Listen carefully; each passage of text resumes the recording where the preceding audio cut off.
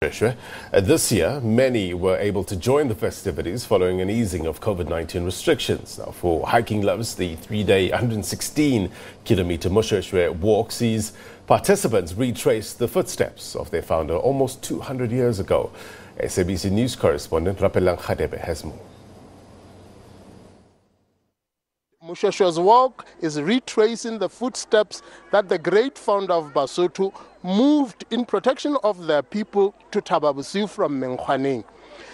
This Moshoeshoe walk marks that particular event in retracing that a very treacherous territory where they want to understand how, what it took for him to build this nation. But there are people who have been celebrating and commemorating this journey, walking every step of the way. It is now the 15th installment that some of them have actually taken part in this series. Is this something an ordinary person with a physique like myself can actually do? What does it take physically and emotionally to actually do that? That this thing needs thorough preparation. You need to be physically fit.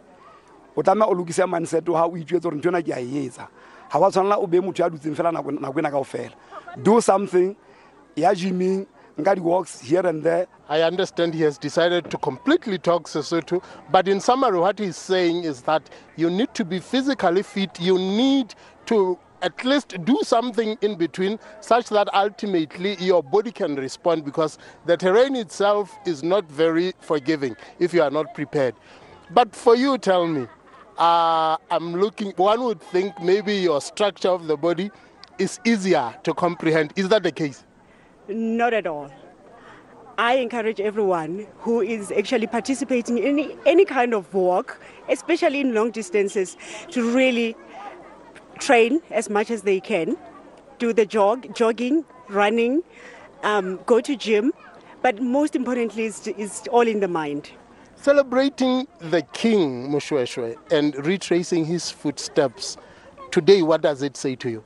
Oh my goodness, this is my very first time participating in this walk, and I've just experienced a wonderful historical nature of Basotho.